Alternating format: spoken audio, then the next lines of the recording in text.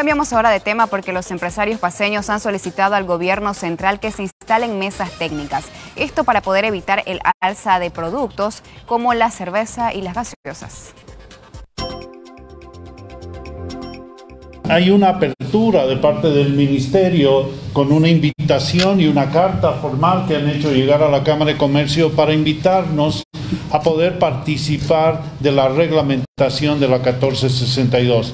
¿Qué cosas quisiéramos nosotros plantear en esta, en esta reglamentación? Creo que es importante proteger la industria nacional, como bien lo ha mencionado el propio viceministro Johnny Morales de Política Tributaria.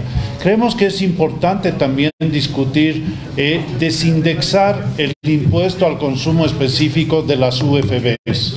Eh, luego, también los rangos establecen eh, precios mínimos, que es donde ha partido la ley del ICE. Por ejemplo, en el caso de la cerveza, hoy tenemos 2,96 por litro y esa es la alícuota fija, pero parte de 2.6 que es de donde se habría iniciado a cobrar el ICE. Entonces creemos que eso da también margen para darnos más competitividad bajando en algunos casos el ICE en algunos productos y haciéndonos más competitivos